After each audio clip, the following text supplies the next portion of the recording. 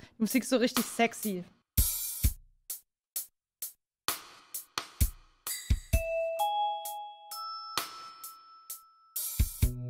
Da sehe ich mich so in der Bar mit meinem Aperol in der Hand in der Ecke sitzend.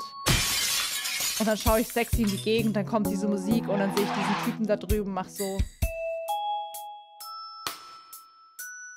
Und dazu kommt diese Musik. Fühlt ihr das? Nein? Ich auch nicht.